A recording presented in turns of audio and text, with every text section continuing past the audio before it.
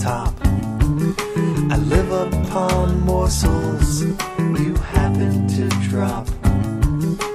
Coffee that somehow leaks out of your cup. If nothing comes down, then I'm forced to swim up.